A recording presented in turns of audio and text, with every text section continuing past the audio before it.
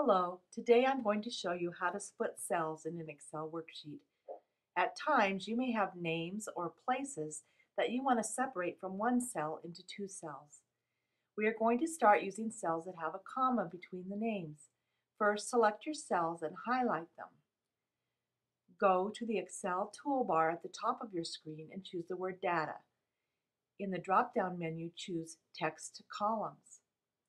In the next screen, make sure Delimited is marked. Now choose Next in the bottom right-hand corner. In the next screen, make sure the word comma is chosen. And again, you will choose Next in the bottom right-hand corner. Your data preview will look like this. Choose Finish in the bottom right-hand corner. Your columns now appear with the names separated. We now have the last name in one column and the first name in the next.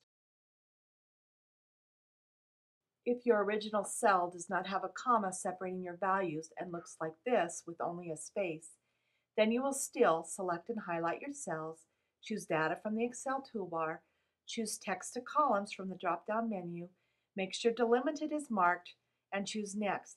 At this point, instead of choosing comma, you choose space. Again, choose Next in the bottom right-hand corner, and your data preview looks the same as before. Choose Finish, and your completed cells now look like this, dividing them. Thanks for listening. Have a great day.